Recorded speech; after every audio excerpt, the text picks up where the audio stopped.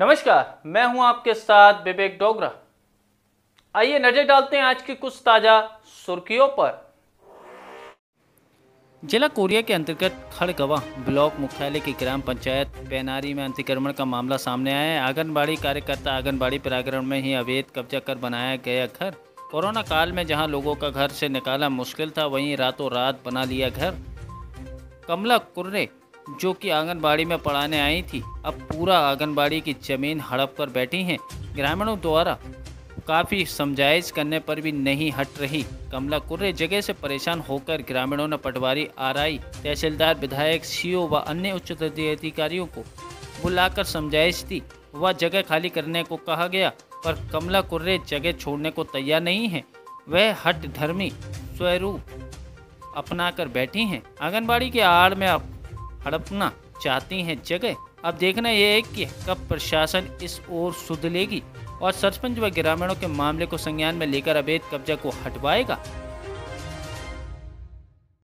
और क्या क्या मामला है? किसको शिकायत किए थे? क्या हुआ? पूरा ब्यौरा दीजिए आप।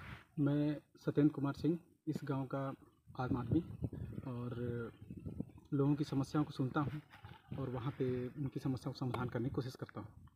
हम लोगों ने लगभग मामला सर, ये मामला उठा था अगस्त, जुलाई अगस्त से। और इसका हम लोगों ने सभी को संज्ञान दिया।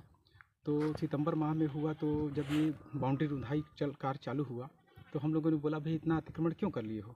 इसको ख़त्म करो, हमको स्कूल ग्राउंड को बनाना है, शासन प्रशासन इसको बाउंड्री के लिए आया हुआ है। तब जाके फिर हुआ बात तो इन्होंने केस फौदारी कर दिया, जो इनको समझाइश के लिए आए थे। उसके बाद शासन प्रशासन ने विधायक जी हमारे एस डी एम साहब जी से क्या कहते हैं पुलिस अधिकारी लोग पटवारी आर आई सभी लोग आए और उन्होंने पूरा विधायक जी ने विनय जायसवाल जी ने पूरा इनको सम्मान से फिर बोला कि ऐसा करो कि तुम लोग इसको हटा दो। तो चार पाँच दिवस का टाइम दिया गया सर। ये लगभग बीस सितंबर की बात है सर। और उसके बाद सर क्या बोलते हैं कि इन लोगों ने लिया टाइम बाकी हट, अपनी हटधर्मी से हटा नहीं रहे हैं सर। और आप देख सकते हैं ये सामुदायिक भवन है।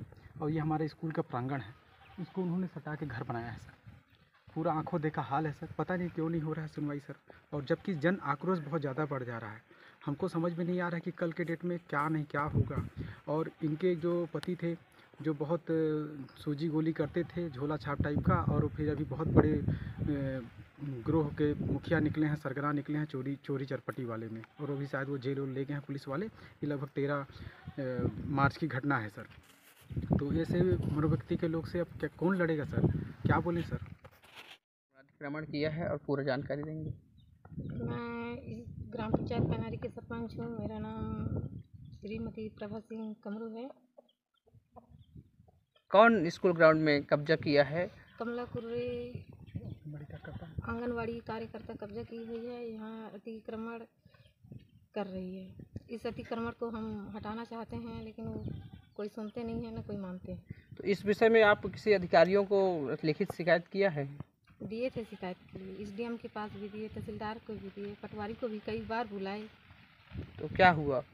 पटवारी आती है नाप के चली जाती है और आगे कुछ नहीं होता है। तो नापते हैं तो क्या इनका घर फंस जाता है स्कूल प्रांगण में? फंस जाता है। तो हटाने की समझाइश नहीं देते हैं? हटाने की समझाइश तो देते हैं लेकिन हटा नहीं रही है वो। पता नहीं कैसे नहीं हटाती है।